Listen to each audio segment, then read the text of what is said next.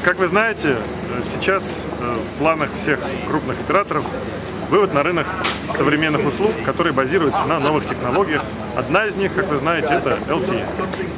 Соответственно, э, ожидается, что после получения всех необходимых разрешений, согласований, операторы вступят в гонку по скорейшему качественному выводу э, на рынок и построению сетей.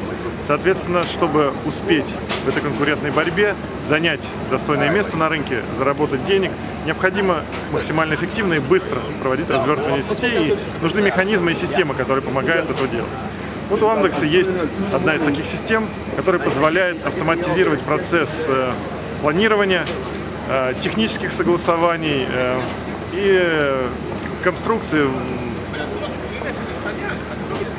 стройки базовых станций и необходимой инфраструктуры что позволяет сэкономить время проектирования и самой стройки с Э, с нескольких часов на единицу, на одну базовую станцию, до 10 минут.